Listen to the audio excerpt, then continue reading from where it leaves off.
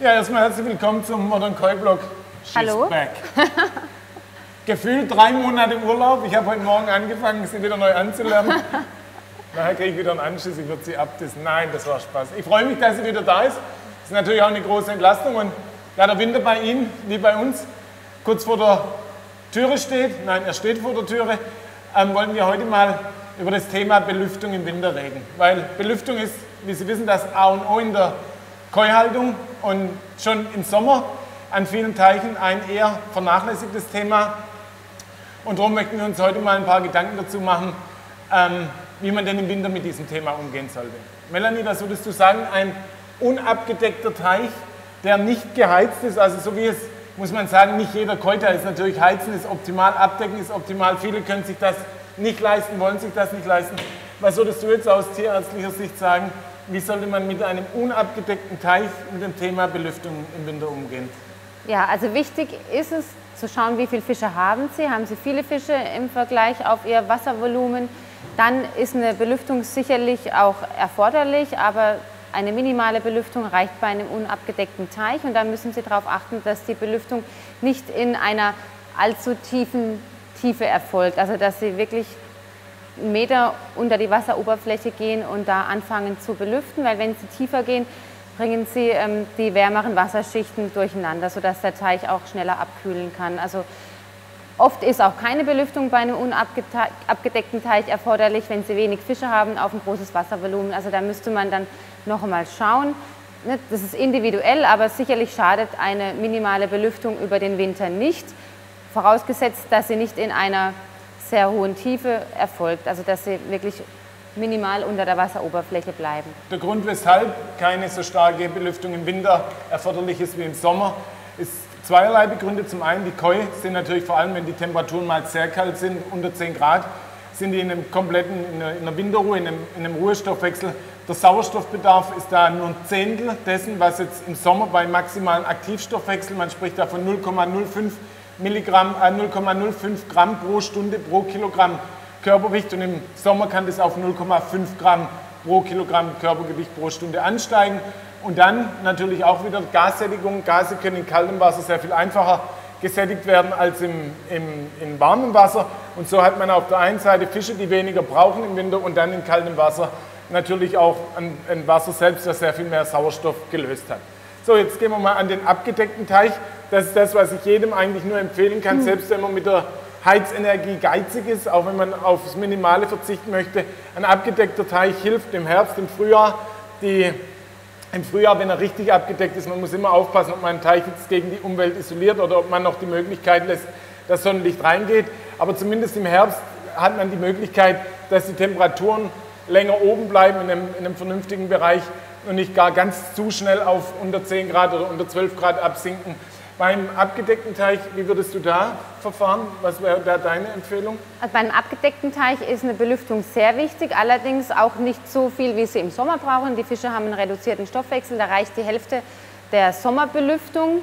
Und ähm, auch da ist es wichtig, dass sie nicht zu tief in den Teich gehen mit ihrer Belüftung. Und ja, wenn möglich, wäre auch gut, wenn sie das separat von ihrer Stromversorgung koppeln könnten, die Belüftung im Teich, falls mal Stromausfall vorhanden ist, dass sie die Belüftung sicherstellen können und natürlich auch regelmäßig Sauerstoff messen, wer kann, wäre auch ideal. Also beim abgedeckten Teich ist es durchaus so, dass man da Teiche, je nachdem, wo man natürlich liegt, aber wenn ich bei mir zu Hause sehe, ein, abgedeckter Teich, unbeheizt, der kann schon bei 8 bis 10 Grad ähm, überwintert werden. Und da muss man sich jetzt natürlich mal Gedanken machen, in dem Moment, wo ich meinen Teich hermetisch gegen den atmosphärischen Sauerstoffabriegel. Hermetisch ist jetzt vielleicht übertrieben gesagt, man kann es nicht 100% abriegeln, aber mal ein kleines Rechenbeispiel.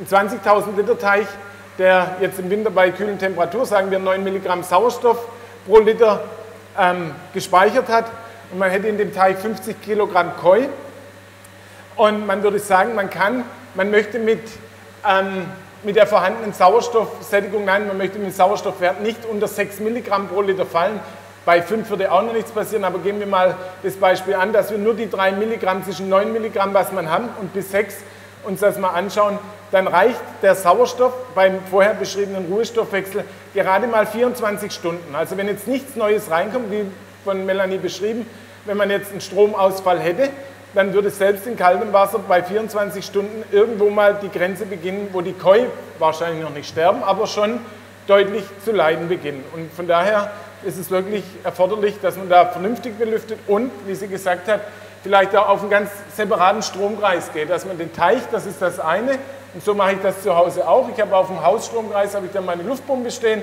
und wenn die Pumpen am Teich und alles ausfällt, habe ich zumindest noch die Belüftung. Jetzt gehen wir zum Hardcore-Szenario, was man natürlich auch häufig hat, der abgedeckte und beheizte Teich. Ähm, ja. Das heißt 14, 16 Grad, was genau. würdest du da sagen? Also da kann man im Prinzip die Sommerbelüftung durchlaufen lassen. Die Fische erfahren ja in diesem warmen Wasser keinen richtigen Winter. Das heißt, der Stoffwechsel ist auch nicht komplett runtergefahren. Die Fische fressen noch. Da müssen sie schon, also würde ich sicherheitshalber den normalen Sommer, die normale Sommerbelüftung beibehalten. Ja, also das ist auch absolut meine Empfehlung. Und auch hier bitte auf zwei Stromkreise gehen. Da ist es wirklich absolut notwendig. Würden wir, wir haben es jetzt nicht geschrieben, aber würden wir jetzt das gleiche Rechenbeispiel wie vorher nochmal machen mit den 9 Milligramm bei 14, 16 Grad, können es dann auch vielleicht der Startwert nur 8,5 Milligramm sein.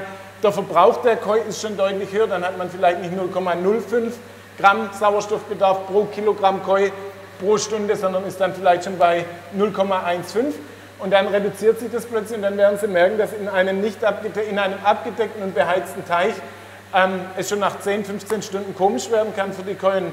Ein mir sehr liebgewonnener Koi-Freund hat vor einigen Jahren mal seinen gesamten Bestand dadurch verloren. Der Teich war perfekt abgedichtet, äh, abge, abgedeckt und isoliert und er hat mit sehr wenig Energie 20 Grad halten können und dann ist aufgrund einer Steuerung, aufgrund eines FE-Ausfalls ähm, einem Heizer und der war so intensiv, dass die ganze Leitung ähm, zwischen Haus und Teichstrom, Unterversorgung, dass alles ausgefallen ist, auch die Belüftung. Als er morgens reingeguckt hat, war Schicht im Schacht. Ein Punkt vielleicht noch nachgetragen, dass man bei den kühlen Teichen die Luftkugel nicht ganz auf dem Boden liegt, hat zum einen natürlich zu tun, dass man die, die warmen Schichten nicht so durcheinander bringt, wobei es die auch nur bedingt gibt, aber es ist nach wie vor so, dass 4 Grad warme Wasser fällt nach unten, also wenn es mal ein sehr intensiv kalter Winter ist. Aber auch ganz wichtig, Sauerstoff, aufsteigender Sauerstoff reißt auch immer Wasser mit, sorgt für Strömung, das kennen Sie aus Ihrem Teich. Und das würde die Fische in der Überwinterung auch ein bisschen stören. Von daher, so wie Melanie richtig gesagt hat, vielleicht nur auf maximalen Meter, manchmal reicht auch einen halben Meter Belüftung und ein bisschen reduzieren und dann sollte das ausreichen. Aber in allen drei Szenarien kann ich eigentlich nur empfehlen, dass der Teich tatsächlich ein bisschen belüftet wird und in den warmen Teichen so wie im Sommer belüftet wird und so wie auch im Sommer. Eine Belüftung gehört in Teich und nicht nur in Filter. Ja. So, ich glaube, wir haben fertig. Genau. Also Sie dürfen auch nicht vergessen, dass auch Ihre Filterbakterien Sauerstoff brauchen, nicht nur die Koi. Und wenn Sie wärmeres Wasser haben, wo Sie füttern, wo die Schadstoffe abgebaut werden müssen, dann muss auch sichergestellt werden, dass die Filterbakterien genügend Sauerstoff haben, um ihre Arbeit zu leisten. So. Hm? und auch alle Verwesungsprozesse im Teich genau. laufen dann besser ab, wenn Sauerstoffarmut ist. Ähm, also die ganzen Schmotterecken, wenn es komisch wird. Da, wo Sauerstoff ist, können Bakterien vernünftig arbeiten. Auch so schlammreduzierende Bakterien können da eine wesentlich bessere Arbeit leisten. In diesem Sinne, bis zum nächsten Blog. Tschüss.